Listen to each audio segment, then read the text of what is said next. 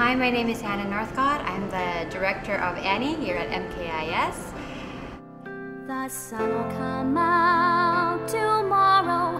Bet your bottom dollar that tomorrow there'll be sun. So last year, last year James Instone, the music director, Alan Young, the choreographer, and I came together to brainstorm what musical we would like to do for this year. When we looked at our demographics or kids that we think would audition for a musical, we realized that a lot of the students that we had were girls. And what musical had a lot of girls? Annie.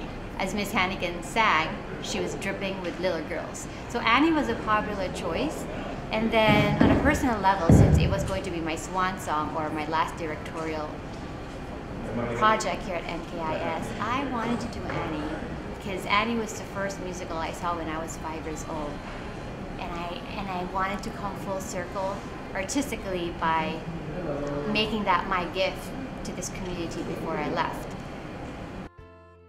So what happened was we had to plan Annie in the first semester and then I went on a couple of month maternity leave and then I came back and we had to go on full rehearsal. So what I did in the beginning was I met with my awesome super duper creative team. So I met with James to talk about the music, and plan out the rehearsal schedule for that. Adeline, we identified all the dance numbers that we had to do and which kids would have to do it. I talked to Naz and Robin because we had to brainstorm costumes. We had we wanted an authentic 1930s feel so that they could start sewing costumes. Then I spoke to Faye and Lynn and Daryl about the set.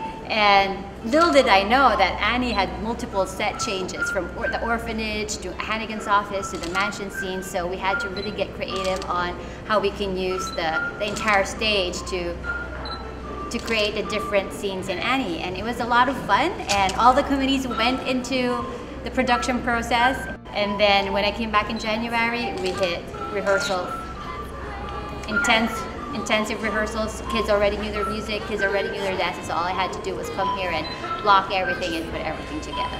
So it was a very, as any musical, it was a tiring and long process, but I'm really happy with the product.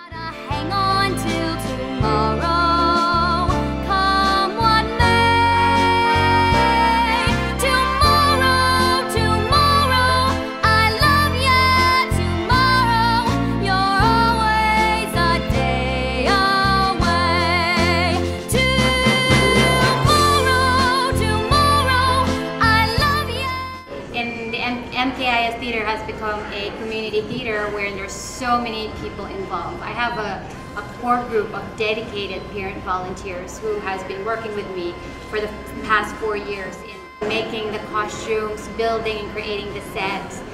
And more than just people who work together, we've become really close friends. And when you create something together, there's a bond that weaves your life together. And I know that wherever I may be and wherever they will be, we will have this bond of being a part of the theater community here at MKIS. I'm also going to miss, of course, my students. I work them hard. I work the students really hard. The rehearsal process is really long and I have high expectation and high, high standards from the kids.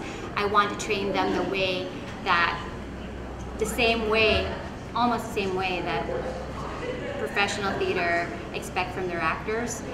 So in, in that process, in that rehearsal process of each of us giving what we can give in the best way we could, I was able to see students go beyond their comfort zones and really soar and really fly and find their light. I'm going to miss, of course, uh, my colleagues, you know, James, music director, Alan, dance teacher, Gerald, Wade, John, and all the people that I work here. So MKIS Thank you so much for the wonderful four years and the eight shows that we have shared together. I'm gonna miss you all. And congratulations to the cast and crew of Annie. We pulled out an awesome show and I'm so proud of you all. The sun will come out.